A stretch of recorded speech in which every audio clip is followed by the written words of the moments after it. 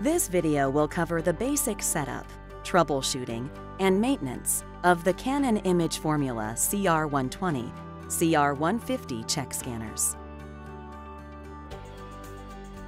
Let's start by opening the document feed eject tray and adjusting the clear plastic eject stopper. Next, press the power button. It will flash slowly and then turn to a solid blue. To turn the power off, press and hold the power button.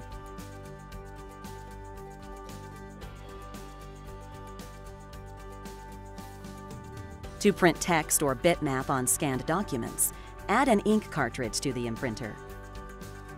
To set the ink cartridge to print, remove the top cover. Flip open the nozzle cleaning unit to reveal the cartridge holder. Place the ink cartridge into place and push it in until it clicks.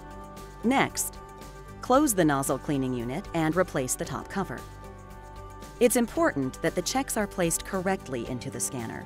Make sure the side to be scanned faces the front of the unit. A maximum of 150 items can be loaded at one time. Items can include checks and small papers. Additional documents can be placed in the document feeder while the machine is scanning. To start scanning, carefully align the edges of the documents. Then load them with the front sides facing right and click Start from the software application.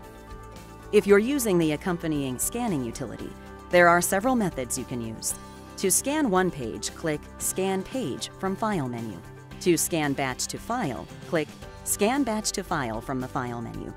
Enter the file name and click Save. Then select Simplex or Duplex and click Start Scanning.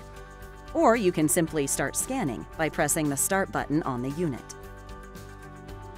When scanning plastic cards, use the Card Guard. Simply attach this to the back of the unit. To scan a plastic card, make sure the front of the card is to the left of the unit. Then place the card into the slot. When the scanner detects the card, release it and use the application program to start scanning. Check the card checkbox. The Canon imageFORMULA CR120 CR150 models have an optional magnetic swipe reader. Scan cards one at a time by placing the magnetic stripe of the card in the reader and swiping it in the direction of the arrow. Make sure the magnetic stripe on the card faces the sensor, indicated by the logo on the scanner. When scanning thick documents, documents having two or more pages, documents with a rough surface, or duplicate forms with a sticky edge, you must use the scanner in Separation Off mode. To enable Separation Off mode, simply press the Separation Off button, then feed the documents one by one. While the Canon imageFORMULA CR120 CR150 models were designed for ease of use, some common problems do occur from time to time. In this section, we will go over some of the problems and how you can correct them. If the scanner is not being recognized by the computer, first make sure the scanning utility is installed. You should do so before connecting the scanner to the computer. Next, make sure the scanner is correctly connected to the computer.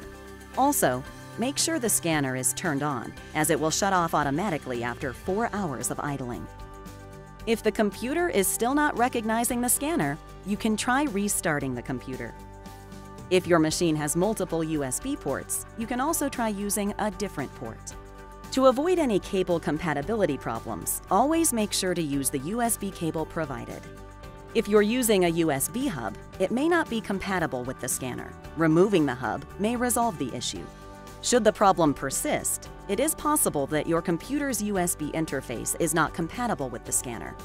Contact your local authorized Canon dealer or reseller for more information. To clear paper jams, follow these steps. Press and hold the Start button. If this does not clear the paper jam, Open the right maintenance cover. Open the left maintenance cover. Remove the jammed paper. Next, close the right maintenance cover. You should hear a click. Now, close the left maintenance cover. To help ensure high-quality image scanning, regularly clean the unit. Before you start any maintenance procedures, turn off the scanner and computer and disconnect the power cord. To clean the main unit, wipe it with a damp cloth, followed by a dry cloth. If dirt appears on the scanned documents, you need to clean the feed path. This should be done regularly to avoid poor scanning quality. To clean the feed path, open the right maintenance cover. Clean any paper dust in the feed path with a dry cloth or cotton swabs. On the opposite side of the unit, open the left maintenance cover. Wipe the feed path with a damp cloth, then wipe dry. Do not use alcohol-based products. Next, close the right maintenance cover, followed by the left maintenance cover. Make sure they click shut. If stripes or dirt appear on scanned images or documents, clean the scanning glass and rollers. Both the glass and rollers should be cleaned regularly. To clean the glass and rollers, remove the top cover and open the right maintenance cover. Open the left maintenance cover. Clean the glass with a dry cloth. Next, remove the roller cover and spin the rollers while wiping them with a damp cloth or cotton swabs. Make sure you clean all 14 roller positions. Several rollers are connected, so you will need to turn them accordingly. After the cleaning is complete, replace the roller cover, close the left maintenance cover, close the right maintenance cover, and carefully replace the top cover. If the magnetic head is dirty, then MICR characters cannot be scanned correctly. Periodically, clean the magnetic head. To do so, open the right maintenance cover and clean the magnetic head with a commercially available audio head cleaner. When finished, close the right maintenance cover. Ink that collects around the inkjet nozzles may stain your documents or cause the text or bitmap image to appear scratched. To avoid this, clean the area around the inkjet nozzles periodically. To clean the inkjet nozzles, first remove the top cover. Using the built-in nozzle cleaning unit, remove the ink from around the inkjet nozzles. Make sure you swipe the ink cartridge a few times on the built-in nozzle cleaning pad. Next, set the ink cartridge and replace the top cover. This type of cleaning also helps avoid faint imprints. If, after cleaning, the images still appear faint, it is time to replace the ink cartridge. To replace the ink cartridge, follow these steps. First, remove the top cover. Next, open the nozzle cleaning unit. Push the ink cartridge backward and then remove it. Be careful not to touch the inkjet nozzle right after imprinting, as it may be very hot. Place the new ink cartridge and replace the top cover. When replacing the ink cartridge, or when clumpy ink appears on the ink disposal tank, it is time to replace the ink disposal tank. To replace this, open the ink disposal tank pocket, remove the used tank, insert the new one, and close the pocket door.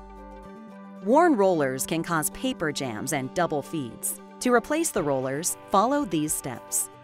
First, open the top cover, then open the right maintenance cover.